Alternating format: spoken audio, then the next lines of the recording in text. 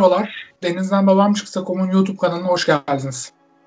Bugün burada Türkiye'de su ürünleri sektöründe çalışmayı düşünen ve bunu eyleme geçirerek su ürünleri fakültelerini tercih edip yazarak öğrenim hayatlarına başlamış olan geleceğin su ürünleri mühendisleri için Aquapena Su Ürünleri Mühendislik ve Danışmanlık'tan Cem Kadeş ile birlikte bazı konular hakkında konuşacağız. Cem Kadeş 1995 yılında Ege Üniversitesi Su Ürünleri Fakültesinden mezun olduktan sonra şu anda Antalya'da su ürünleri tesislerinin planlaması başta olmak üzere su ürünlerinin sektörünü ilgilendiren pek çok konu üzerinde danışmanlık veren bir profesyonel. Ben de 2010 yılında Mersin Üniversitesi Su Ürünleri Fakültesinden mezun olduktan sonra şu anda Denizden Babam Çıksa.com'un tüm içeriklerini üretmeye ve yönetmeye çalışıyorum. Cem Bey öncelikle olarak bu yayının hazırlanması için burada olmanız gerçekten çok önemli ve değerli. Size tekrar teşekkür etmek isterim. Ben başlarken bazı küçük bilgiler vererek sözü size bırakmadan önce bir girizgah yapmak istedim. Türkiye'deki su fakültelerinin genel durumuna baktığımızda ülke çapında 20'nin üzerinde su fakültesinin olduğunu görüyoruz. Ve bu fakülteler sadece kıyı kesimlerine konumlanmış halde değil. İç sularda da birçok su ürünleri fakültesinin varlığını görüyoruz ve bunlar hakikaten güçlü akademik kadrolarla var olmaya devam ettiriyorlar. Şöyle ki Karadeniz'de Trabzon'la başlayıp Hatay'da, Akdeniz'de Hatay'a kadar e, hemen hemen kıyı illerimizin tamamında bir su ürünleri fakültesinin varlığını görüyoruz. Bununla birlikte Elazığ, Burdur, Malatya gibi denize kıyısı olmayan iç sularımızın kıyısına kurulmuş olan fakültelerimiz de var. Bu durum aslında Türkiye'nin iç sulardaki e, su ürünleri yetiştiriciliğinin potansiyeline de dikkat çeken bir önemli bir gösterge. Şimdi biz bu konuları e, daha iyi anlatabilmek ve anlaşılabilmesini sağlamak için e, belki de en başından konuşmamız gerekiyordu. Ve işte bu yüzden Cem Bey ile bir araya geldik. Su ürünleri fakültelerinden mezun olacak ve hatta mezun olmuş insanların çoğu ellerinde sahip olduğu meslekle ilgili ne yapacağını merak ediyorlar aslında. İşte biz de buradan bir başlamak istedik. Şimdi ben size aslında sormak istediğim ilk soruyla başlamak istiyorum. Siz de eğer hazırsanız. Hazırım. Bizim aslında sektöre dair yanıtını aramamız gereken birçok soru var ama bizim her şeyden önce su ürünleri mühendisliğinin ne olduğunu dünyada örnekleriyle Amerika'da, Almanya'da, e, Kanada'da, Japonya'da hatta Çin'de bu işi kimin yaptığını e, bir tanımlandırmamız gerekiyor diye düşünüyorum. Buyurun. Kaan'cığım merhaba. Ee, öncelikle e, bu güzel organizasyon için teşekkür ederim. Bu e, ilk yayınımız olacak. E, Suriyeli sektörüyle ilgili e, çok fazla konuşulacak konu var. E, biz de e, hem e, öğrenci arkadaşlara hem de meslektaşlara bir rehber olabilecek bir kanal yapmayı planlıyoruz. E, beni davet ettiğin için, buna bu işe ortak ettiğin için çok teşekkür ediyorum gerçekten. Onur duydum. Geldiğiniz için çok ee, Şimdi şimdi öncelikli olarak tabii e, sorunları mühendisliği nedir sonra cevaplamak isterim. Sorunları mühendisliği zaten adının içinde geçtiği gibi su ve suyun içinde yaşayan canlıları kapsıyor. Ee, ama temelde primer yaptığımız iş aslında balık yetiştiriciliği ile ilgili gibi gözüküyor. Ee, dünyada e, biliyorsun e, su ürünleri ile ilgili e, avcılık ve yetiştiricilikle ilgili e, farklı iki tane alan varmış gibi gözükse de aslında hepsi temelde aynı noktada birleşiyor.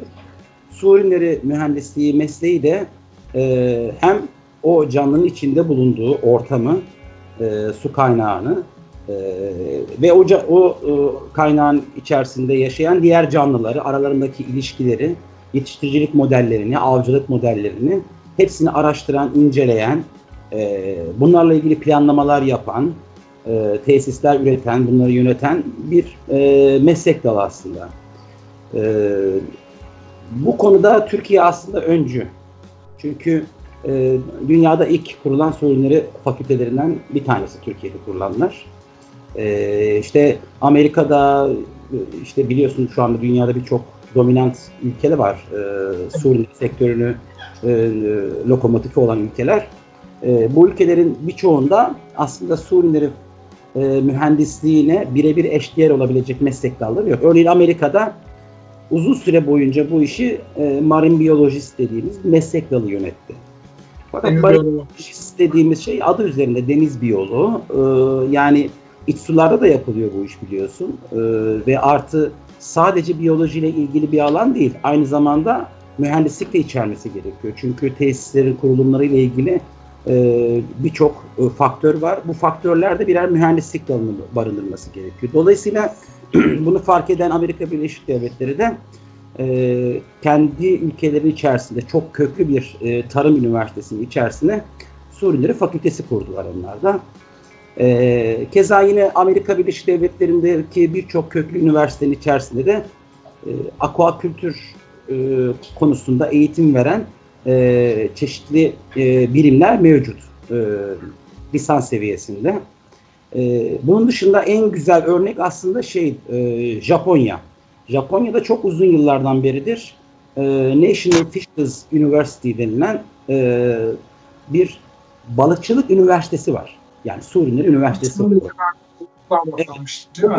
tek örnek, evet, evet, tek örnek bu konudaki. Ee, işte Nagasaki'de yine aynı şekilde bir e, su ürünleri fakültesi bulunmakta. Ee, bu konuda en iyi olan ülke zaten Japonya biliyorsun. Onun dışında Hollanda, İsveç, Avustralya gibi birçok ülkede yüksek lisans seviyesinde su ürünleri mühendisliği eğitimi veriliyor. Ee, ama lisans seviyesinde e, çok fazla e, yapan ülke yok. Bizden örnek alarak Çek Cumhuriyeti e, yakın zaman içerisinde bir balıkçılık fakültesi e, açtı. E, keza bizimle e, aynı e, denizi paylaştığımız Yunanistan biliyorsun Ege Denizi'ni paylaştığımız Yunanistan'da da Selanik'te e, bir balıkçılık ve su ürünleri teknolojisi e, bölümü mevcut. E, bu e, aslında e, yetiştiricilik yapan e, bu işin lokomotifi olan ülkelerin bir şeyler yapmaya çalıştıklarını gösteriyor. Fay sahibi olmak değil mi amaç? Yani daha görünür olmak, evet. daha fazla sahibi olmak. Kesinlikle. E, bu alanda çok büyük bir boşluğun olduğu ve spesifik bir meslek dalına ihtiyaç olduğu e, ortaya çıkmış durumda. E, bunu nasıl örneklendirebiliriz? Mekatronik mühendisliğinden bahsedebiliriz mesela. Mekatronik mühendisliğini mekanik e, yani e, işin içerisinde hem e, e, elektrik elektronik mühendisliği var e, hem de makine mühendisliği var. Mekatronik mühendisliğine neden ihtiyaç duyuluyor? Çünkü robotlardan bahsediyoruz. Gelecek robotlarla olacak. E, e, dolayısıyla işin içerisinde hem elektronik olması gerekiyor hem de aynı şekilde e, makineyi de bilmek gerekiyor. E, e bugün mesela yazılım mühendisliğinden bahsediyoruz ama mesela bazı okullarda e, oyun yazılım mühendisliği diye bölümler var. Oyun yazılım bölümleri var mesela. Yani gelecek artık daha spesifik meslek dallarının üzerinden geçiyor. Ama yine biraz önce bahsettiğim gibi e, belki de sorun su ürünleri mühendisliği fakültesinin olması değil de belki de sayılarının fazla olması. Yani 20 küsür tane şu anda su ürünleri mühendisliği fakültesi var. Birçoğu öğrenci alamıyor zaten. Belli başlı üniversitelerimiz öğrenci oluyor. Yani genel anlamda baktığımız zaman su ürünleri e, mühendisliğini ve fakültelerini böyle tanımlayabiliriz. Ben örneğin e, tercih dönemindeki bir üniversite öğrencisi, üniversiteye hazırlanan bir öğrenci olayım. Ya da su ürünleri fakültesine girmiş ilk senesinde ya da ikinci senesindeki etrafı dikkat etmiş bir e, üniversite öğrencisi olayım. Sahaya çıktığım zaman bir su ürünleri mühendisi olarak ne yapacağım? Aslında su ürünleri mühendisliği multidisipliner bir bilim dalı. Dolayısıyla birçok alanda iş yapabiliriz. Bize birçok alanda fırsatlar sunuyor. Ee, yani çok uzun liste var tabii ki ama kısaca özetlemek gerekirse temelde mesela ilk yaptığımız, en çok yaptığımız iş balık çiftlikleri, e, su ürünleri işleme tesisleri, balıkhaneler, e, ondan sonra balık av tekneleri, çeşitli e, bu firmalara lojistik sağlayan firmalar, malzeme mekanizasyon üreten firmalar, e, balık yemi üretim tesisleri, e, danışmanlık yapan firmalar ki benim şirketimin de olduğu gibi aynı şekilde ki bu firmaların içerisinde e, aşı yapan, boylama yapan, balık sağlığı ile ilgili olan e, firmalar da mevcut. E, süs balıkları üretim tesislerinde yine aynı şekilde çalışabilirler. veya kendileri de kurabilirler. E, biyoteknoloji firmalarında görev alabilirler. Çünkü gelecekte hakikaten bu konu çok önemseniyor. E, çeşitli laboratuvarlarda çalışabilirler. Çünkü birçok laboratuvar dersi alıyoruz. E, dalış firmalarında çalışabilirler. Sanayi dalgıçlığı yapabilirler. Çeşitli e, kalite sertifikasyon ve sigorta e, şirketlerinde görev alabilirler. Ee, okul döneminde kaptanlık belgelerini alanlar yakın yol vardiya zabitliğinden tutun da e, normal kaptanlığa, birinci kaptanlığa kadar e, kaptanlık görevlerinde bilirler. Aynı şekilde e, devlet kurumları da e, Suriyeli mühendisi alıyor. Tarım Bakanlığı, Çevre Bakanlığı gibi bakanlıklar belli zamanlarda çok yüksek miktarda olmasa da Suriyeli mühendisi alıyor. Onun dışında e, Devlet Su İşleri, Su Yönetimi Genel Müdürlüğü, e, Suriyeli Araştırma Enstitüleri, Ziraat Bankası, e, sahil güvenlik, çeşitli belediyeler, özellikle büyükşehir belediyeleri ve bazı yurt dışı e, kurumlar mesela FAO gibi e, WWF dediğimiz e, Vahşi Yaşamı Koruma e, Kurumu gibi kurumlar da Suriyeli mühendislerine ihtiyaç duyuyorlar. E, yani bu işleri, bu alanlardaki e, görevlerin hepsini e, yapabilir Suriyeli mühendis meslektaşlarımız.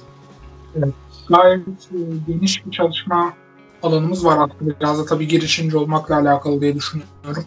Şimdi biraz daha bugüne yaklaşmaya çalışırsam Su Ürünleri Fakültesi'nde bir öğrenci olarak bu saydığın yerlerin şimdi göreceli olarak hani biraz daha iyi bir yerlerde çalışma hedefimiz var ya hepimizin var. Olması gereken de aslında bu. Su Ürünleri Fakültesi'ndeki bir öğrenci olarak böyle bir yerde çalışmak için neler yapmalıyım? Aslında şöyle düşünmek lazım olayı. Sadece bunu Suriyeliler olarak değil de e, üniversite okuyan e, ve mezun olduğunda e, bir şekilde bir çalışma sektörüne, iş hayatına girecek olan arkadaşlarımız için bir tavsiye olarak da bunu nitelendirebiliriz. E, yani temel olarak elinizi taşın altına sokmadan, çabalamadan, mücadele etmeden hiçbir şey elde edemezsiniz. Bu bir genel evet. kural. E, ve her mesleğin kendine ait püf noktaları vardır e, mesut ürünleri sektöründe iş bulabilmek, iyi para kazanabilmek e, mümkündür. Ama bunun için de e, bazı şeylerin yapılması gerekiyor. E, bence birinci sıraya e, kesinlikle ve kesinlikle şeyi koymamız gerekiyor. Bu öncelikle bu işi sevmelisiniz. Yani evet. su ürünlerini Sevmezsek olmuyor. Evet, kesinlikle öyle. Yani e, denizi sevmiyorsanız, balığı sevmiyorsanız, doğayı sevmiyorsanız, e, keza aynı şekilde e, denizin, doğanın size karşı koyacağı, o karşınıza çıkartacağı zorluklara eğer katlanamayacaksanız e, hayatınızın sonuna kadar eziyet çekersiniz. E, yani öncelikli olarak doğayı sevmeniz lazım. Canlıları sevmeniz lazım. Su ürünlerini, denizi sevmeniz lazım. Bunları severseniz e, daha rahat edersiniz. E, ikincisi öğrenciliğiniz boyunca 4 yıl veya 5 yıllık öğrencilik hayatınız boyunca veya 2 yılda yüksek lisans yaptığınız e, düşünürsek toplamda e, maksimum 7-8 yıllık bir süreç boyunca e, bu her üniversitede belli dönemlerde veya ilinizde e, birçok sektörel toplantı yapılır. Bunlar sempozyumlar olur, paneller olur, e, fuarlar olur, çalıştaylar olur. E, mutlaka bu fuarlara, panellere, çalıştaylara katılmaya çalışın. E, ha başka bölgelerde, başka illerde olan e, önemli toplantılar da olursa bütçeniz dahilinde de gitmeye çalışın. E, neden gitmeye çalışın? Belki orada konuşulan konuların birçoğunu anlamayacaksınız ama e, bu toplantılarda sektörün tüm bireylerini bir arada göreceksiniz. Genel durumunu göreceksiniz. E, keza orada birçok sektörün sorunları tartışılıyor. Dolayısıyla e, belki de siz sektörün içerisindeki kendi yerinizi bulacaksınız orada. O yüzden bu toplantılar çok önemli. Bir kulak dolgunluğumuz olacak. Kesinlikle öyle bir aşinalık olacaktır söylenen şeylerle ilgili. Neden Artı, bileceğiz Evet. E, üçüncü olarak e, Sorunları Fakültesinde birinci sınıftaki temel dersleri geçtikten sonra ikinci, üçüncü ve dördüncü sınıfta görülen e, her bir dersin içinde sektörde size iş imkanı olacak küçük küçük pırıltılar vardır. Yani örneğin bir akvaryum balıkları dersi dediğimiz zaman akvaryum balıkları dediğimiz zaten koskoca bir deniz.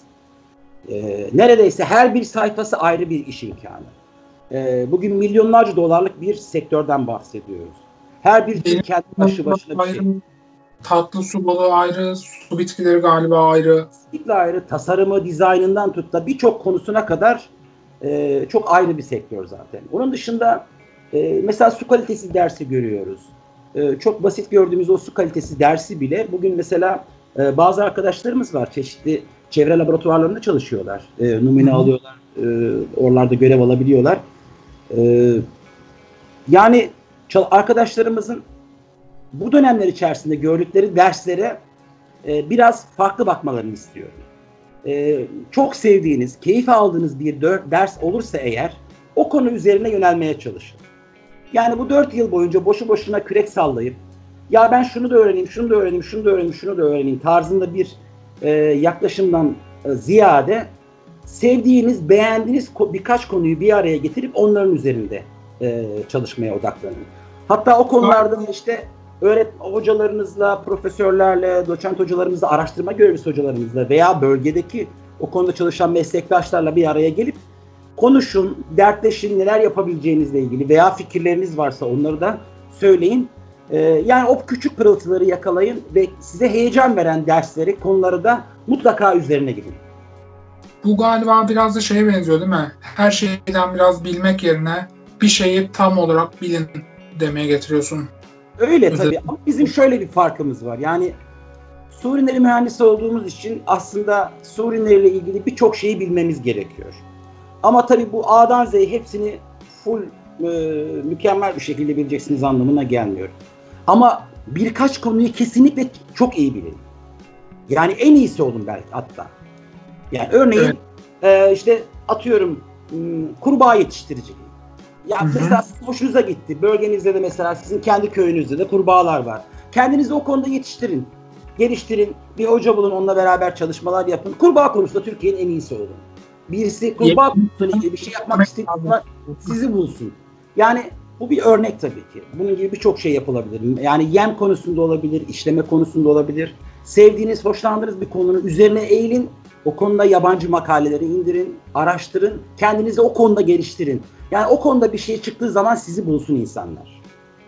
Evet yani bir yandan da var olanı geliştirirken öte taraftan belki ilgimizi çeken bir konuda yeni bir alan da açabiliyoruz. Ben anladığım kadarıyla bu. Kesinlikle öyle. Evet. Fakültelerdeyken belirli ilgi alanımıza göre belirli şeylerden bahsettik. E, alanlardan gidebiliriz. Hocalarınızla daima iletişim içinde olun. E, belki sektördeki toplantılara katılarak oradan insanlarla tanışabiliriz dedik de benim kendimin de e, fakültedeyken ne yazık ki aslında çok önemsemediğim ama keşke başka bir şekilde değerlendirseymişim dediğim bir staj konusu var. Bir üniversite öğrencisi olarak staj yapacak olanlara ne önerirsiniz ve aslında size göre staj nasıl olmalı? Ee, Kaan'cığım şimdi burada çok önemli bir e, konuya değindin. E, staj çok önemli. Bizim sektörümüzde de staj çok önemli. Çünkü uygulamalı bir bilim dalıyız biz. Dolayısıyla Hı-hı. derslerde gördüğümüz tek, e, bazı teorik bilgilerin aslında birçoğunun sahada uygulamalarında farklı olduğunu göreceğiz. Bunu nasıl evet. görebiliriz? Görmenin tek yolu da staj yapmak. Ama maalesef e, üniversitelerin akademik takvimlerindeki staj dönemi 3. sınıfın sonundaki yaz dönemine denk geliyor. Ve burada yaklaşık 30 günlük bir iş günü dönemine denk geliyor. Halbuki sektörümüzde yaz ayı bizim en durgun olduğumuz dönemlerdir. Genelde rutin işlerin olduğu, işte kafes bakımıdır, ağların bakımıdır, e, ne bileyim işte tesisin ufak tefek onarım işlerinin falan olduğu. E, hatta şöyle de diyebiliriz yani iyice artık e, Akdeniz bölgesi veya Ege'nin birçok bölgesi için düşündüğümüzde böyle sıcakta e, İnsanların işte bu tarz dönemlere staj yaptıkları zaman meslektaşlarımız veya öğrenci arkadaşlarımız diyor ki işte amele gibi çalıştık diyorlar. İşte bunun sebebi e, o dönemden kaynaklanıyor. E, ama bunun bir e, çözümü yok mu? Var. E, şimdi 4 yıllık bir öğrenim dönemimiz var. 4 yıllık önem, e, öğrenim döneminin içerisinde de e, her bir şey içerisinde 2 yıl e, dönem var ve dönem aralarındaki tatilde 15 günlük tatilde anne babanızın yanına gideceğinize e, bir tesise staja gidin. öğretmen hocalarınızdan rica edin. Hocam ben atıyorum bir alabalık kuluçkane tesisinde staj yapmak istiyorum. Bana bir yer ayarlar mısınız deseniz mutlaka hocalarınız bir yer ayarlar size. Bir çiftlik sahibine şey, dediniz ki ben orada e, ücretsiz staj yapmak istiyorum. Benim yememi, içmemi, sigaramı, paramı karşılayın. Konaklayacağım yeri verin. Ben bu işi öğrenmek istiyorum. Oraya geleceğim, çalışacağım dediğiniz zaman kimse sizi geri çevirmez. O yaz döneminde kuluçkanelerin yoğun olduğu dönemlerde eğer orada staj yaparsanız yine belki amelelik yapacaksınız. işi hiç bilmediğiniz için. Ama bu sefer çok farklı şeyler göreceksiniz. İnsanların orada işte boylama nasıl yapılır, aşı nasıl yapılır, e, havuz sayımları nasıl yapılır, bazı ufak tefek böyle teknik detayları görmüş olacaksınız. Aynı şey deniz balıkları kuluçkaneleri için de geçerli. İşleme tesislerinin için de geçerli. Yem fabrikaları için de geçerli. En verimli staj dönemleri 15 günlük o yaz şey, kış dönemine denk gelen dönemlerdir. Onun dışında yine yazın Evet, onun dışında yine yazın e, mesela 3 aylık tatil içerisinde bir ayını annenizin babanızın yanında geçirin. İki ayda gidin farklı farklı yerlerde çalışın. E, yani bir sene bir e, kafes çiftliğine gidin. İkinci sene işleme tesisine gidin. Üçüncü sene bir kuluçkaneye gidin. Dördüncü sene bir yem fabrikasına gidin. Ee, ve sonra mezun olduğunuzda, diploma elinize aldığınızda, dördüncü yılın sonunda özgeçmişinizde e, şu şu şu AKFS tesisinde çalıştım, şu şu şu e, kuluçkanede çalıştım, şu işleme tesisinde çalıştım, şu yem tesisinde çalıştım gibi bir e, referans koymuş olacaksınız. Dolayısıyla bu sizin e, başvuru yaparken ki e, alanınızda geliştirmiş olacak. O yüzden staj çok önemli. Bu konuya mutlaka arkadaşlarımız önem versinler. Biraz böyle hani bahsettin ya işte balık boylama, kafeslerin ya da işte sayım gibi konular bunlar da aslında zaten bilmemiz gereken konular değil mi? Yani bunlar birazcık daha angarya değil bizim temelimizi oluşturan konuların başında geliyor galiba. Bunları da bilmek çok önemli. Şimdi çok güzel bir noktaya değindin. Ee, bütün bu yaz stajları veya 15 tatil dediğimiz Şubat döneminde yaptığımız stajlar bize bir deneyim olarak geri dönüyor. Şurada, şurada, şurada bunu yaptım, bunu yaptım. Şimdi sektöre girerken ya da sıfırdan e, bir iş başvurusu yaparken e, maaşlarımız yeterli görünüyor mu? Ya da nasıl olmalı? Maaşlarımız sektörde nasıl? Kaan şöyle söyleyeyim. E, maaş konusu bizim meslektaşlarımızın arasında en çok tartışılan konulardan bir tanesi. E, bundan 20 sene öncesine göre çok çok daha iyi bir konumda olduğumuzu söyleyebilirim. E, o konuda net bir şey söyleyebilirim. Ama e, tabii ki Türkiye şartlarında e, yine de çok e, istenilen seviyelerde olmadığı belli. Fakat bu bizim meslek dalımıza özgü bir şey değil. Yani bugün e, özellikle Türkiye'de zaten e, birçok işveren e, mühendislere e, diplomalı personel gözüyle bakıyor. E, dolayısıyla yani şöyle sizi işe aldığında sizin şirkete çok ekstra bir şeyler katacağınızdan ziyade ben biraz üniversite okumuş bir personel çalıştırayım en azından bir iki çift laf söylediğim zaman anlayabilecektir tarzında yaklaşabileceği bir personeli çalıştırdığını düşünüyorum. Dolayısıyla çok yüksek maaşlar vermese de sizi çalıştırabileceği aklında. Bunun sebeplerinden bir tanesi de e, Türkiye'de çok fazla üniversitenin olması. Yani sizi işten çıkartmış olsalar yerinizi alabilecek, sıraya geçebilecek birçok insanın da olmuş olması. Yani Ama dediğim gibi halde değil mi? Mühendisler olarak mezun stoğumuz evet. biraz fazla değil mi? Evet, evet. Kesinlikle öyle. Ama bu sadece bize has bir durum değil. Yani bu bir ziraat mühendisliğinde de aynı sıkıntı var. Gıda mühendisliğinde de aynı sıkıntı var. Hatta çok revaçta olan mesela inşaat mühendisliği, makine mühendisliği gibi. Biraz önce bahsettik mesela mekatronik mühendisliği diyoruz. Mekatronik mühendisliği düşün. Ee, hem makine mühendisliği okuyorsun hem elektronik mühendisliği okuyorsun ama 3000-3500 lira maaşla anca başlayabiliyorsun. Biraz Bizim böyle birleşmeye başladılar alanlar. Evet. Evet. E, bizim sektördeki maaşlar da yine bu civarlarda geziyor. Yani 2800 lira civarında da verenler de var ama e, artık onlar çok fazla kalmadı. Şu anda 3000 lira civarında bir başlangıç maaşları var. Hiç tecrübesi olmayan, hiçbir bilgisi olmayan bir mühendis yaklaşık 3000 lira maaşla başlıyor. Ama bizim şöyle bir avantajımız var. çalıştığımız yerler genelde şehirden uzakta yerler olduğu için e, işletme sahipleri genellikle tesis içerisinde bize konaklama imkanı sunuyorlar. Dolayısıyla bir kira parası vermiyorsunuz. Aynı şekilde orada işte e, ücretsiz internetiniz oluyor. E, yeme imkan, yemek imkanlarınız orada olmuş oluyor. E, o aldığınız 3000 lira yaklaşık sizin 5000-5500 lira gibi bir rakama falan ulaşabiliyor. Artı mesela primle çalışan primle çalışan birçok iş yeri var. Yani yıl sonunda mesela bir hedef koyuyor. Diyor ki ben işte sana 100 ton e, hedef koydum. işte 5 milyon yavru koydum. Bunu eğer yaparsan işte sana ekstra %10 prim gibilerinden. O zaman da maaşınız yine 5 bin, 6 bin gibi rakamlara ulaşabiliyor. Bunun örneklerini yapan arkadaşlarımız var. Ama burada önemli olan nokta şudur. Meslektaşlarımız olaya şöyle bakmalı. İlk işe girdiklerinde maaştan ziyade işin kalitesine bakmalılar.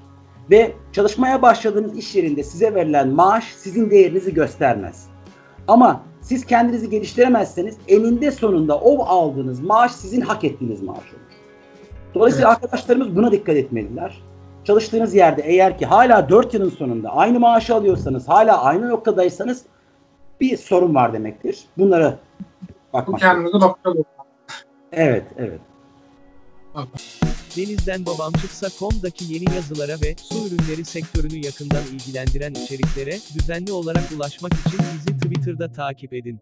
Gerekiyor. Birazcık böyle yine çalışma alanlarına kayacağım da e, fakültelerde, su ürünleri eğitimi, mühendisliği eğitimi verilen fakültelerde en az 4 yıl boyunca 85 ile 90 arasında ders alıyoruz. Bunlardan tabii bir senesi çoğu yerde hazırlık olarak okutulan dersler. E, deniz ve iç sulardaki balık yetiştir yetiştiriciliğinin yanında akvaryum yetiştirici, akvaryum balıklarının yetiştiriciliği, av araçları ile ilgili bakım, onarım, üretim, e, yapım derslerimiz var. Ben şöyle bir kendi transkriptime baktım da e, su ürünleri sektörüne zaman zaman benim denizden babam çıksa konuda da önemli bir şekilde görüp yer verdiğim yem yapımı ve yem teknolojisiyle ilgili derslerimiz var. Ee, her aşamasına müdahale edebilmek için laboratuvar müfredatımız vardı, işleme konularımız vardı. Yani sadece balığı tuttum, hale gönderdim, pişirilmiş olarak değil çeşitli yöntemlerle başka neler yapabiliriz kısmı vardı ve benim notlarımda olan e, en önemli konulardan bir tanesi sizin de yaptığınız gibi tesis planlama vardı. Şimdi biz hakikaten birçok alandan birçok dersi kendimize adapte ederek al, alarak ve bu derslerin sınavlarını vererek mezun oluyoruz. Çok geniş bilgi birikimi ve e, deneyimle aslında bu deneyim fiziksel değil ama teorik deneyimlerle donanarak mezun oluyoruz. Peki bu bütün bilgi birikimimizi su ürünleri sektöründe nerelerde kullanabiliriz? Ee, şimdi gerçekten e, çok fazla ders alıyoruz. Çok fazla e, konu görüyoruz. Bir önce de bahsettiğimiz gibi ürünleri multidisipliner bir bilim dalı. E, bu bilgiyi nerelerde kullanabiliriz? Bugün birçok meslektaşımız var. E, kendi işletmelerini kuran, e, farklı alanlarda e, işler yapan. Mesela ben mesela danışmanlık yapıyorum. E, sen mesela sen de bir su ürünleri mühendisisin e, ama farklı bir alanda çalışıyorsun. Bizim mesela e, ilgilenemediğimiz, e, boş olan bir alanı sen e, kaplıyorsun iletişimle ilgili, dijital pazarlama ile ilgili kısmında. E, işte bir akvaryum tesisleriyle ilgili olan kısmını düşündüğümüz zaman e, bugün evlerinin bodrumunda bile 80 metrekarelik bir alanda bile yılda e, 4000 5000 lira parayı çok rahatlıkla kendilerini çok kasmadan, çok görmeden para kazanabilirler. Yani su ürünlerinden mezun olmuş olan bir arkadaşımızın, meslektaşımızın çok küçük sermayelerle kendilerine iyi paralar kazandırabilecek bazı şeyleri yapmaları mümkün. Biraz önce bahsettiğimiz o derslerin üzerinden odaklanarak. Ama temelde e, önemli birkaç şey var.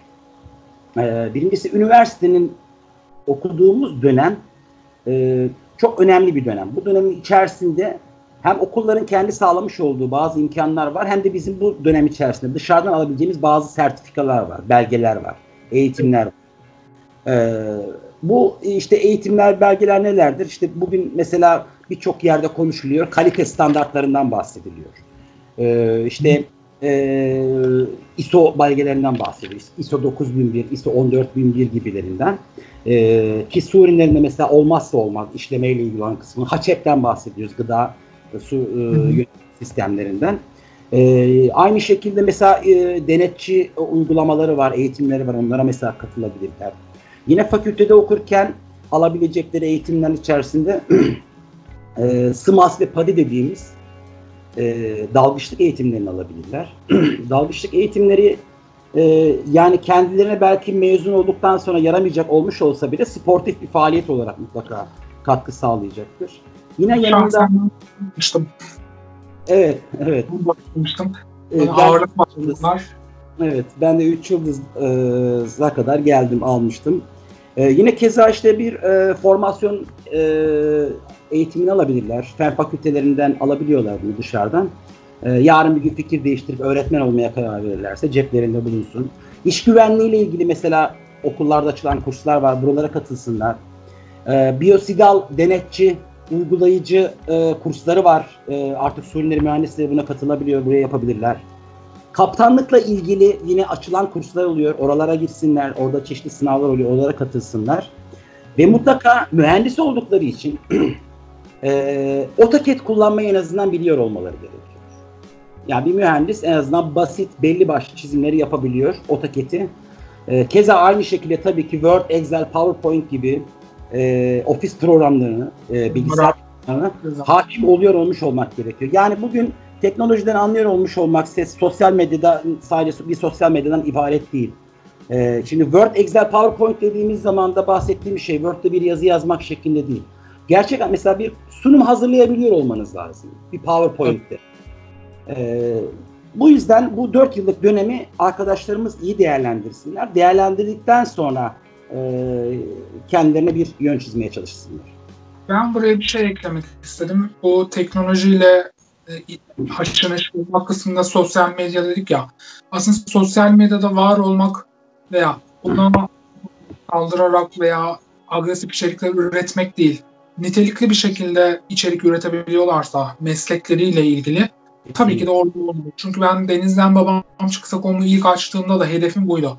Nitelikli içerik üretmek. Yani birçok konuda var. Farkındaysan ben de orada teknoloji hakkında yeni gelecekte neler var? Alg var, mercan var, ahtapot yetiştirmeye çalışıyorlar şu anda. Çok evet, önemli çok, bir şekilde raporu çok yakın çok zamanda çıktı. Takip ediyorum. Efendim? Çok sıkı takip ediyorum gerçekten. Deniz ben bağımçık sapımı. Biraz böyle hani nitelikli içerik üretebiliyorsak evet sosyal medya ama lütfen buradan benim de meslektaşlarıma tavsiyem yani birileriyle tartışmak için, birilerine laf yetiştirmek için sosyal medyayı kullanmak yerine bir makale indirin, onu okuyun. Şimdi makale indirip okumak demişken yabancı dile biraz girmemiz gerekiyor. Tabii ki aslında İngilizce çok önemli ama dünyanın şekli hatta denizlerden avladığımız türlere bağlı olarak su ürünlerini elde edeceğimiz ülkeler de değişiyor. İngilizcenin yanında biz hangi dilleri öğrenmeliyiz ki kendi içimizdeki meslektaşlarımızın önünde belki bir adım öne geçelim. Çok güzel bir e, şeye değindin. Hem sorun çok güzel hem de çok güzel bir cümle kullandın orada. İngilizcenin yanında ne öğrenmeliyiz dedin. E, bu çok güzel bir cümle çünkü artık İngilizce yabancı dil olarak kabul edilmiyor. Yani İngilizce artık bir ırkın, bir milletin dili değil. Artık şu anda dünya dili. Yani her, dünyanın herhangi bir ülkesindeki herhangi bir kişiyle konuşmak, anlaşmak istiyorsanız İngilizce zaten biliyor olmanız gerekiyor. Dolayısıyla yani zaten biz şunu diyoruz ki 4 yıllık üniversite hayatınız boyunca İngilizceyi öğrenmediyseniz zaten çok şey kaybetmişsinizdir. Yani bu dönemi mutlaka iyi değerlendirin, İngilizceyi iyi bir şekilde öğrenin. Ama bu bahsettiğimiz günlük konuşma dilinden ziyade mesleki İngilizce. En azından bir evet. internette ilgilendiğiniz bir konuyla ilgili bir makaleyi indirdiğinizde onu çevirebiliyor olmanız, e, anlayabiliyor olmanız gerekir. Veya bir işe girdiğinizde size İngilizce olarak bir e-posta geldiğinde onu koştura koştura gidip de birisine çeviri yaptıracağınıza o gelen e-postaya eğer İngilizce olarak tekrar yanıt verebiliyorsanız bu sizin yeterli olduğunuzu gösterir. Ama Hı. bunun dışında sizi birkaç adım öne geçirebilecek olan diller var. Bugün dünyanın süper gücü işte Amerika diyorsak İngilizce konuşuyorlar. Diğer süper güç şu anda Çin. Ee, hem ekonomik e, anlamda hem de geleceğin potansiyel anlamında. E, Çince bilmek çok büyük bir avantaj olur bir kere. Çünkü Çin'le evet. zaten ticaret ticaret inanılmaz bir şekilde patlamış durumda. Çinliler çok milliyetçi adamlar. Ve kendileriyle Çince konuşan insanlarla çok daha fazla sıkı ticaret yapmayı seviyorlar. Aynı şekilde Japonlar da öyle. Hatta Japonlar derler ki araya başka dil karıştırmayalım. Ya Türkçe konuşalım ya Japonca konuşalım derler. Japonca ve Çince, keza Korece önemli bir dil bu açıdan. Sizi öne geçirir. Aynı şekilde e, nüfus yoğunluğu açısından konuşulduğunu düşündüğümüzde dünyada en çok konuşulan diğer dillerden bir tanesi İspanyolcadır. Güney Amerika ülkelerinde özellikle çok fazla konuşuluyor İspanyolca. Yine keza e, Fransızca Afrika ülkelerinde çok konuşuluyor. Bugün artık Afrika ülkeleriyle de çok fazla ticari ilişkiler içerisinde bulunuyoruz. E, Fransızca bilenler de bu açıdan avantajlılar. Aynı şekilde Rusya ile çok fazla ticaret yapıyoruz. Rusça çok önemli. Bu, bu, bu dili de öğrenebilirler. Ve tabii ki Orta Doğu ve Arap Yarımadası'ndan bahsettiğimiz zaman da Arapça. Yani bu dillerden herhangi bir tanesini veya bir iki tanesini bildiğiniz zaman bir yere iş başvurusu yaptığınız zaman sizi kesinlikle ve kesinlikle birkaç adım öne geçirecektir. Bu yüzden artık İngilizceyi yabancı dil olarak düşünmeyeceğiz. İngilizceyi zaten bileceksiniz. Diğer bahsettiğim dillerle ilgilenebilirsiniz. Evrensel dilimiz oldu artık İngilizce. Ben e, çok yakın zamanda yayınlamak üzere üzerine çalıştığım dokümanda Suriye Arabistan, Birleşik Arap Emirlikleri burada da artık çok ciddi açılımlar var. Su ürünleri yetiştiriciliğine, bölgesel ürünlerin yetiştiriciliğine çünkü Kızıldeniz ve Arap Yarımadası'nın etrafındaki denizlerde çok önemli miktarlarda o bölgeye e, de yetişen türlerin karides, balık, ıstakoz yetiştiriciliği var ve turizme de birazcık yöneldikleri için bir e, açılma evresindeler ve ben Arapça bilen herhangi bir meslektaşımın senin de dediğin gibi orada çok kolay bir şekilde iş bulabileceğine inanıyorum. Ben henüz bilmiyorum ama üzerinde çalıştım. Şunu da ekleyeyim. ee, mesela e, Arabistan, e, Katar, Birleşik Arap Emirlikleri gibi ülkelerden iş ilanları geliyor. Ben biliyorsun bir iş ilanları paylaştığımız bir platform var. Ortak beraber yürüttüğümüz. Evet. Burada paylaşıyorum ben Arap Yarımadası'ndan bazı işleri. Burada e, verilen maaşlar öyle e, az uz maaşlar değil. E, Arapça ve İngilizce bilen e, deneyimli Suriyeli mühendislerine 6 bin ila 10 bin dolar civarında maaşlar veriliyor. Yani evet. 10 bin dolar dediğimiz para bugün e, orta ölçekli bir işletmenin CEO'sunun alacağı maaştan bile yüksek. 70 bin liraya geliyor. 65-70 bin gibi bir rakamdan bahsediyoruz. Böyle bir yerde 5 e, yıl çalıştığınızı, 10 yıl çalıştığınızı düşünün. E, orada biriktirdiğiniz paralara tekrar ülkenize döndüğünüzde istediğiniz gibi bir hayatı kurabilirsiniz. O yüzden Arapça da çok önemli keza aynı şekilde. E, lütfen arkadaşlarımız bu konulara mutlaka eğilsinler, mutlaka üzerinden geçsinler diyorum. Ben oturur öğrenirim. Yani bir şey olsa neyse yayınlarız şu anda ben bunu evet. bırakayım. Ee, şimdi biraz daha yine ülkemize doğru dönelim. Biz çalışma koşullarımıza şöyle bir değinmemiz gerektiğinde bugünün öğrencilerine ve yarının profesyonellerine gelecekteki sorunları tesislerindeki çalışma koşullarında sence ne bekliyor? Ee, şimdi şöyle söyleyelim. ee, Türkiye'de hakikaten çalışma şartları zordur. Yani sadece Suriyelilerine has değildir. Ee, bütün işletmelerde büyük balıklar küçük balıkları yutma telaşı içerisindedir. Benim şöyle bir tavsiyem vardır. Hangi sektörle ilgili olursa olsun bir işe girdiğinizde kurumsal bir firma da olabilir, büyük bir firma olabilir veya 10 kişilik bir 10 kişinin çalıştığı bir tesis de olabilir. Kendinizi yemlik da yaptırmayın. Kariyer uğrularına başkalarını da feda edin. Yani iş hayatı böyle maalesef. Ee, güçlü olan bir kimse yanında daha e, güçlü, e, başka güçlü kimseleri istemezler. Ve yukarıdan evet. daima bir baskı gelir ki aşağıdan insanlar yukarıya çıkamasınlar diye. Ama şunu kesinlikle unutmayın. Kimsenin gücü sınırsız değildir. Kimse vazgeçilmez değildir. Burada önemli olan şey şudur.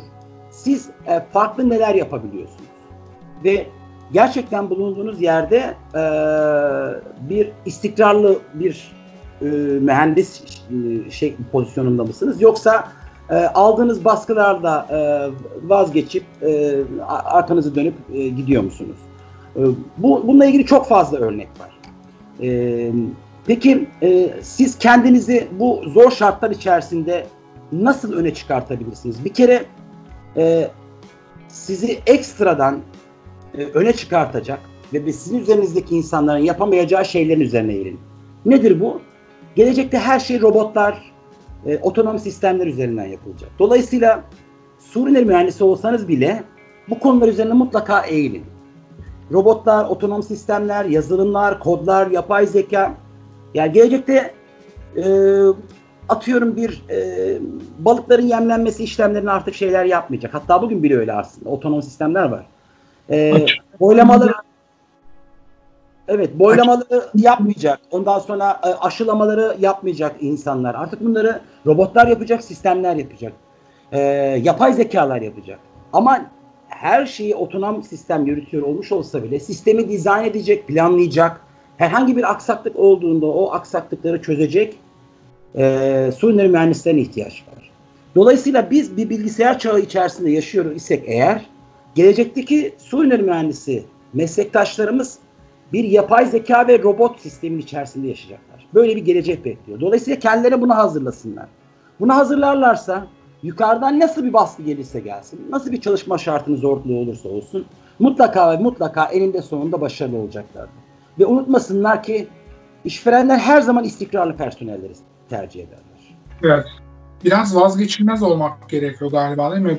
Parlamak evet. gerekiyor. Evet. Şey. Burada tabii birkaç şey de var. Yani e, bir işe girdiğiniz zaman sizin arkanızdan hep şöyle söylesinler. O işini her zaman layıkıyla yapar desinler. Ve evet, e, önemli.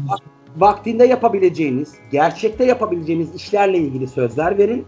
Verdiğiniz sözleri yerine getirin ya da yerine getirmeyeceğiniz sözleri e, vermeyin. Bunlar çok Doğru. önemli. Bunları yapıyorsanız e, zaten belli bir zaman sonra yavaş yavaş kariyer basamaklarını tırmanacaksınız arkadaşlar. Şimdi yine kariyerden bahsetmişken üniversite öğrencilerin biraz hani daha çok hedeflerimiz tabii ki bu sektörün içinde yükselmek de yine sıfırdan veya ilk başlardan bir yerlerden bir soru sormak istiyorum ben size.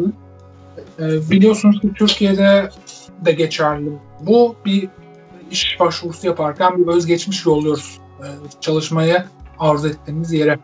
Yeni mezun olduk veya mezun olmak üzere izleyelim. KPSS'ye gireceğiz ya da girmeyeceğiz. Ben şahsi olarak artık çok girmiyorum o, o tür sınavlara ama özgeçmişimizi hazırlarken biz nelere dikkat etmeliyiz? Neler olmalı özgeçmişimizde ya da belki nelere yer vermemeliyiz?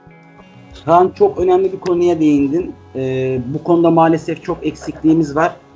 Bunu da nerede keşfettim? Şöyle, e, bu iş ilanlarını biz e, arkadaşlarımızla paylaşırken bazı işletmeler bizden diyorlar ki siz özgeçmişleri toplayın, e, onların içinden e, bize gönderin diye söylüyorlar. Ben meslektaşlarımızın hazırladığı özgeçmişleri görüyorum. Gerçekten çok kötü durumda. E, yani bir Word'ün içerisinde birkaç kelime bir şey yazıp böyle ekleyip koymuşlar. E, benim tavsiyem e, mezun arkadaşlar, yeni mezun arkadaşlar özellikle. E, Kariyer.net gibi böyle profesyonel e, platformlar var. Secret CV gibi, Kariyer.net gibi e, platformlar var. Buralar öncelikli olarak bir üye olun. Oradaki bazı bilgilerinizi girin, eğitim bilgilerinizi girin. Ee, ve öz, orada bir standart bir e, şey var, özgeçmiş şablonu var. Orada hazırlayın. Özgeçmişiniz mutlaka fotoğraflı olsun. Mutlaka fotoğrafınızı koyun. Ve e, tabii ki temelde hani özgeçmişinizin şekli, şemali, şablonu güzel olmasının yanında özgeçmişinizin doluluğu da çok önemli. Ama doluluktan bahsettiğim şey şu değil. Yani mesela 4 yıl önce mezun olmuş olan bir arkadaşımız, meslektaşımız 4 yıl içerisinde eğer 6 tane firmada çalışmışsa 7. firmaya başvurduğunda işveren şöyle düşünecektir. Bu arkadaşımız 6 ila 8 aylık bir süre içerisinde çalışıyor sonra istifa ediyor veya ayrılıyor. Demek ki bir sorun var. Ee, dolayısıyla hani burada e, 4-5 yıllık süre içerisinde bir veya iki tane çalıştığınız yer olması gerekiyor. İstikrarlı olduğunuzu göstermelisiniz. Onun dışında biraz önce bahsettiğimiz eğitim programları vardı. Onların mutlaka olması gerekiyor. Yani e, elinizdeki o sertifikalarda ben işte ISO belgesine sahip, ISO 9001, ISO 14000 belgesine sahibim. Haçep yönetiminden biliyorum, biosidal ürünler SMAS belgen var, dalış belgen var. İşte şunlar şunlar şunlar bunlar hepsini altına yazmamız gerekiyor. Ee, yabancı dil kesinlikle İngilizce akıcı bir şekilde konuşuyor ve yazabiliyor olduğunuzu yazmanız gerekiyor. Ee, onun dışında e, referanslara da dikkat eden işver, işverenler. Burada e, o yüzden üniversite dönemindeyken kendinizi de bir iki tane hocanızı sevdirin. Profesör olan bölüm başkanı hocalarınıza sevdirin. Ve evet. mezun olduğunuzda söyleyin ki hocam özgeçmişime ben CV'me sizi referans olarak yazmak istiyorum diye söyleyin. E, bunlar çok etkili şeylerdir gerçekten. Ve tabii ki olmazsa olmazı staj. Yani staj döneminin içerisinde yapmış olduğunuz şeyler e, sizin e, çalışma hayatınızı yönlendirecektir. E, dolayısıyla biraz önce bahsettiğimiz gibi o 4 yıl içerisinde 4 tane farklı alanda yapmış olduğunuz stajları da oraya yazarsanız işveren şöyle düşünecektir. Gerçekten müthiş potansiyeli olan, gelecek vadeden bir e, personel işe alıyoruz diye düşünecektir. Bu yüzden özgeçmişi doldururken bunlara dikkat etsin arkadaşlarımız. O pırıltıyı görecek yani bir heves olduğunu göstermeli. Ee, Peki bu özgeçmişle ilgili benim aslında sormak istediğim iki konu var.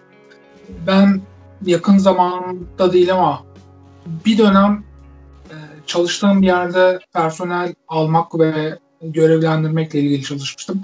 Özgeçmişte fotoğrafın olması ne kadar önemli sence? Yeni içerikleri, videoları, podcastleri ve içerik formatlarımızı takip etmek, gelişmelerden hızlı bir şekilde haberdar olmak için bizi Instagram'da takip etmeyi unutmayın. Bu bir samimiyet göstergesidir. Yani e, fotoğrafsız bir özgeçmiş, e, yani insanlar özellikle Türkiye için söylüyorum ben. Hani başka bir ülkede nasıldır bilmiyorum ama yani bizler daha e, duygu yüklü insanlarız ve e, e, Evet yani bizler e, işte mesela telefonla konuşmak farklıdır. E, yüz yüze görüşmek farklıdır. E, yan yana oturup konuşmak çok farklıdır. Hatta Hı-hı. meslektaşlarımıza ben şunu da öneririm. E, bu kariyer platformlarından özgeçmişleri, iş başvurularını yaptıkları zaman e, aynı zamanda gizli işler vardır. Yani evet. örneğin bir tane büyük bir firma e, aslında iş başvurusu iş ilanı açmamıştır. Fakat o tesisin gerçekten o e, alanda bir e, teknik bir personel ihtiyacı vardır. E, özgeçmişinizi cebinize koyun, çantanızın içerisine koyun ve Türkiye'nin büyük birkaç tane firmasının direkt insan kaynakları bölümleriyle gidin birebir yüz yüze görüşün. Deyin ki ben evet. mezun oldum, şuralarda şuralarda çalıştım. Bakın bunlar da benim referanslarım. Fotoğrafta güzel özgeçmişinizle birlikte götürün. Oradaki karşılıklı görüşmeniz bile e, sizi birkaç adım öne geçirecektir. Bunları da yapabilir arkadaşlarımız ve böyle yapıp da işe giren arkadaşlarımız da var. Bir gün o zaman e, müsait olduğun bir akşam mı olur bilmiyorum ne zaman olur da canlı bir özgeçmiş hazırlama süreci kesinlikle, yapalım. Bir kesinlikle bu konuda yardımcı olmak isterim. Yani bu konuda çok uzun süre e, üzerinde çalıştığım için özgeçmiş hazırlamayla ilgili e, arkadaşlarımıza verebileceğimiz çok fazla tavsiye var. E, bunları yapabiliriz. Bir, bir sonraki programlarımızdan birinde yapalım bunu. Bizim birlik olmak ve taleplerimizi daha fazla duyurabilmek adına ben e, yeterli olduğumuzu düşünmüyorum. Hani bir olmak belki dünyanın farklı yerlerinde iyi iş yapıyor olabilir. Bizim için de böyle mi? Aslında belki biraz tartışmaya açılabilecek bir konu. E, hep söylüyoruz ya, burada da birkaç sefer üzerinden biz geçtik. Elimizi taşın altına sokmalıyız diyoruz hep. Şimdi birçok e, meslektaşım gibi aslında zaman zaman ben de birçok konu birçok kez konuştuk tartışıldı ama e, nereden ve nasıl başlayacağımız konusunda endişeler yaşıyoruz ya da bir bilinmezin içindeyiz. E, elimizi taşın altına sokmaya nereden başlayalım? Ee, şöyle aslında e, tek başınıza elinizi taşın altına sokmak e, çok mantıklı değil. E, ama birkaç el birden elini taşın altına sokarsa o zaman mantıklı olacak. E, hatta bununla ilgili atasözü de var. Bir elin nesi var, iki elin sesi var gibi. E, şimdi e, bizler birer meslek dalıyız ve e, çalıştığımız alanlar da zor bir alan. E, su sektöründen bahsediyoruz. Gerçekten zor bir alanda çalışıyoruz. E, ve iş hayatı içerisinde birçok sorunla karşılaşabiliriz. Bu karşılaştığımız sorunlar çeşitli yasal sorunlar olabilir. Ee, çalıştığınız iş yeriyle ilgili olabilir, işvereninizle ilgili olabilir. Çalıştığınız iş arkadaşlarınızla ilgili olabilir. Veyahut da e, bizimle birlikte e, eşdeğer olabilecek benzer mesleklerle ilgili e, bir rekabetle ilgili bir konuyla ilgili bir şey olabilir. E, bu konularla ilgili herhangi bir şekilde bir hak aradığınızda, bir sorunla karşılaştığınızda bir arayış içerisine girdiğinizde başvurabileceğiniz bir yerler olması gerekiyor veya sizi destekleyebilecek bir yerler olması gerekiyor. Bunun da Türkiye'deki yasal platformu TMOB dediğimiz Türkiye Mimar Mühendis Odaları Birliği kurumudur. Evet. TMOB'un altında da e, alt dalları olarak farklı farklı odalar var, meslek odaları var. E, yani işte Endüstri Mühendisleri Odası, Gıda Mühendisleri Odası falan gibi. Biz de su mühendisleri olarak Ziraat Mühendisleri Odası'na kayıt olmak zorundayız. E, meslek grubu olarak orada toplanmışız. Kanunen bizi orada toplamışlar. Şimdi bazen şey de deniyor işte niye kendi odamız yok gibilerinden şeyler söyleniyor. Hani belki ileride bir gün kurulur. O ayrı bir mesele ama e, odanın ismini Ziraat Mühendisleri Odası olması çok önemli değil. Yani hangi oda olduğu, nerede olduğu önemli değil. Sizin o oda içerisinde neler yaptığınız önemli. Veya sizin o oda içerisindeki gücünüz önemli. 25 bin tane üyesi olan bir odadan bahsediyoruz. 20 küsur şubesi var. Hemen hemen her ilde temsilciliği var. Her şubede e, mesai saatleri içerisinde sekreterleri var. Toplantı odalarını kullanabiliyorsunuz. Ayrıca e, çok başarılı avukatları var. Herhangi bir hukuki sorunla karşılaştığımız zaman bize yardımcı olabilecek olan avukatları da var. E, ama bu 25 bin kişilik e, büyük camianın içerisinde sadece 1000 1200 gibi bir rakamla temsil ediliyoruz. Evet, ve bu, epey. Evet ve bu 1000-1200'lük kişinin içerisinde de 100 civarında meslektaşımız düzenli olarak aidat ödüyor.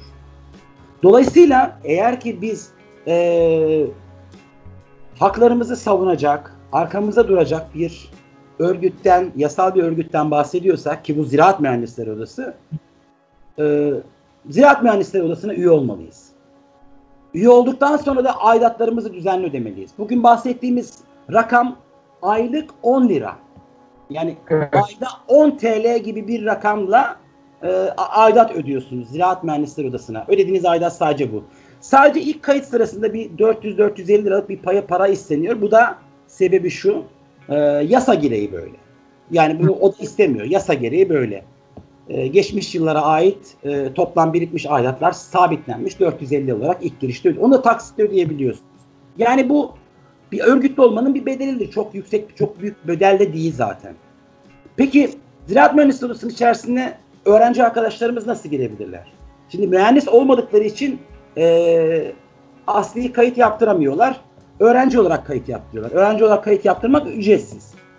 Evet. Ee, öğrenci olarak kayıt yaptırdıkları zaman da orada öğrenci örgütleri var. Öğrenci grupları var. O grupların içerisine girsinler. Hem sektörü tanısınlar. Hem örgütlü mücadele nasıl olur onları öğrensinler. O yolları bir görmüş olsunlar. Bir arada işte sorunlar nasıl tartışılır? E, hukuki yollardan bu sorunlar nasıl çözülür? Bunların yollarını yavaş yavaş öğrenmiş olsunlar. Birlik nedir, bir arada olmak nedir bunları görsünler. Mezun oldukları zaman da hemen asıl kayıtlarını yaptırsınlar. Benim e, isteğim şu. 10 bine yakın su ürünleri mühendisi var şu anda mezun olmuş.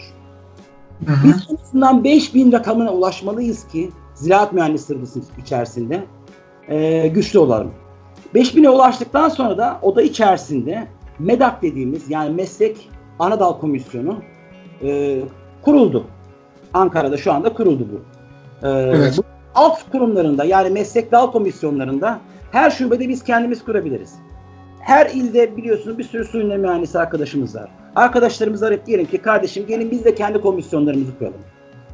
Komisyonları kurduğumuzda da her ay gidip Ziraat Mühendisliği Odası şubesindeki toplantı odalarını ücretsiz olarak kullanabiliriz.